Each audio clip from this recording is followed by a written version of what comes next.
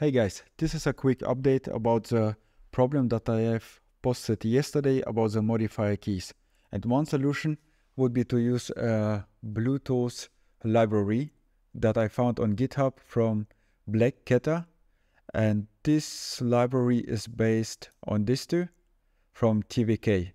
So here are the two connections, ESP32 this is this is this one for the shift test and this is this one for the letter A. And it works as it should actually. So here is A. Here I'm pressing shift releasing and it's working properly. Also it works with the keyboard. Yes.